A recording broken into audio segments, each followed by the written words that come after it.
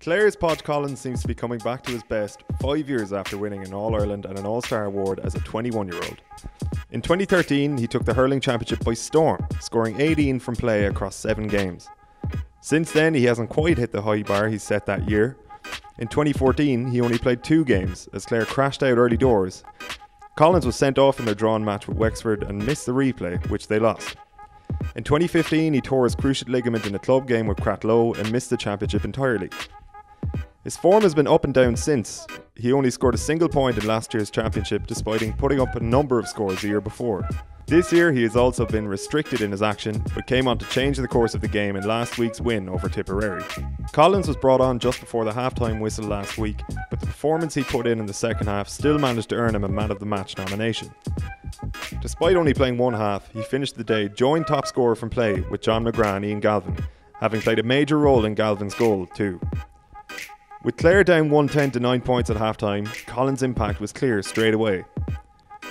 His movement and angles of running have always been a key asset in troubling defences. He showed it for his first point early in the second half, coming into the half forward line and then turning into space he had created when Donal Tuohy sent a long puck out his way. Podge showcased his alertness for breaks with the second point, picking up a breaking ball that was fired into John Conlon. His impact didn't just come from his scores, but the turning point in the game from a Clare point of view came in the 65th minute with the banner a goal and a point down.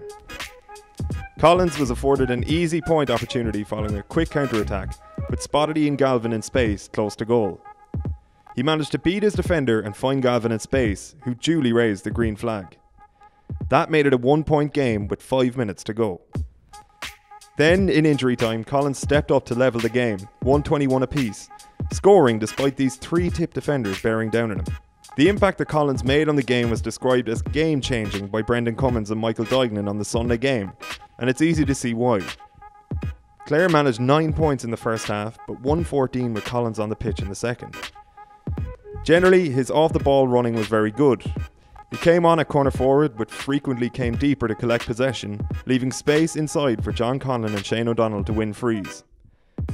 Despite only playing one half of hurling, the Sunday game panelists deemed him worthy of a Man of the Match nomination. Is the 26 year old back to his best?